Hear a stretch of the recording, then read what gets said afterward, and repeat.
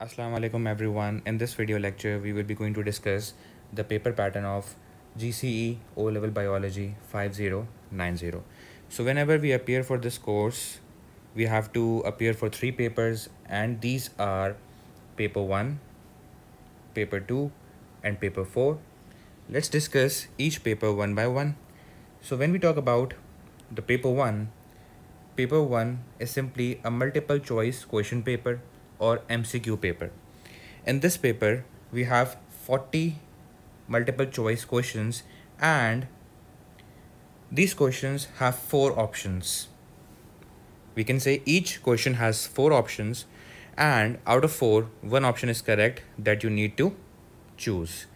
Okay, so there is no choice. You have to attempt all the MCQs. So I would recommend you to not leave any MCQ even if you mark the answer wrong, but do mark it, right? Don't leave any MCQ. Maybe the answer you mark gets right. Okay. What are the total marks of paper 1? These are 40.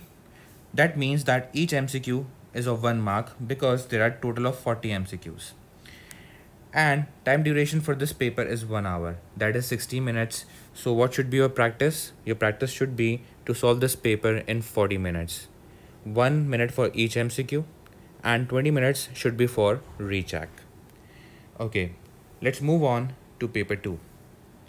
Paper 2 is theory paper which contains structured questions which are actually the short questions and answers. Right? And there are variable number of questions in paper 2 with variable mark value. For example, there can be 7 questions or 8 questions or 9 questions, right? And each question will have a variable mark value. For example, some questions will be of 11 marks, some questions will be of 10 marks, some questions will be of 12 marks. So there's variable mark value and variable number of questions. Again, there is no choice. You have to attempt all the questions. Okay, so the total marks of paper 2 are 80 and time duration is 1 hour 45 minutes. That is 105 minutes altogether.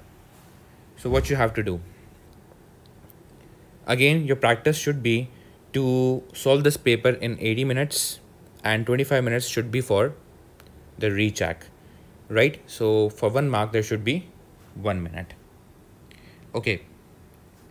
Let's talk about the next paper that is paper 4 which is known as alternative to practical paper or ATP. So in Pakistan the students choose paper 4 instead of paper 3 there's another paper also which is known as paper 3 that is the practical paper or practical test in which you go into the labs and perform the practical and solve the questions accordingly on the question paper. But paper 4 in paper 4 which is alternative to practical you don't have to perform any practical you don't need to go in the lab simply you appear for a paper which tests your practical skills. So in alternative to practical there are questions that are from the practical skills taught in O-level biology syllabus.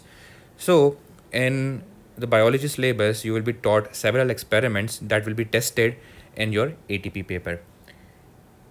Again, there are variable number of questions. You can get two questions or three questions or four questions maybe with variable mark value. So the questions will have different mark value. The total marks for this paper are 40 and time duration is one hour.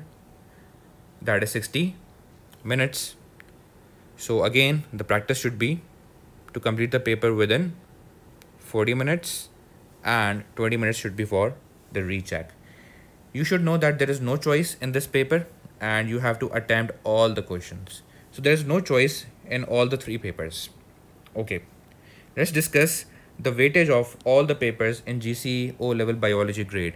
So for, for example, if you're getting an A or any grade, so each of the paper has some weightage in that grade that you are getting.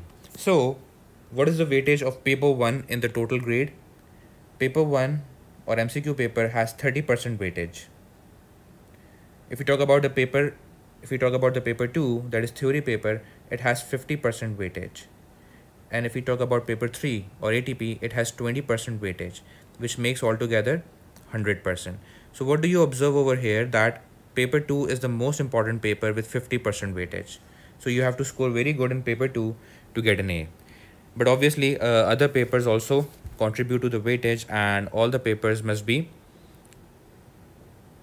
attempted very well in order to achieve an amazing grade. So guys this is all about the paper pattern of GCE O level biology 5090 I hope everything is clear to you. Thank you so much for watching this lecture. Don't forget to subscribe to my YouTube channel. Allah Hafiz everyone